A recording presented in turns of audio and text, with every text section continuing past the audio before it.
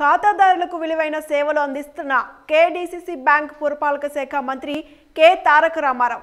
రాజన్న సిరిసిల్ల జిల్లా కేంద్రంలో నూతనంగా ఏర్పాటు చేసిన కేడీసీసీ బ్రాంచ్ ప్రారంభోత్సవ కార్యక్రమాన్ని ఐటీ శాఖ మంత్రి K. Taraka Ramarao trace cab chairman Konduru Ravindra Rao చేతుల మీదుగా నిర్వహించారు.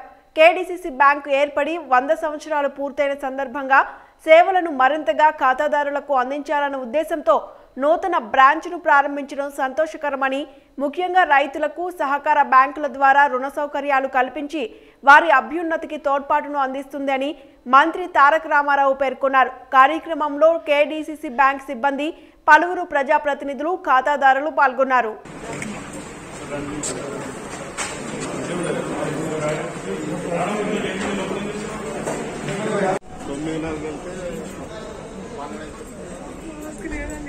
తొమ్మిది నాలుగు వెళ్తే తొమ్మిది నాలుగు వెళ్తే లేదండి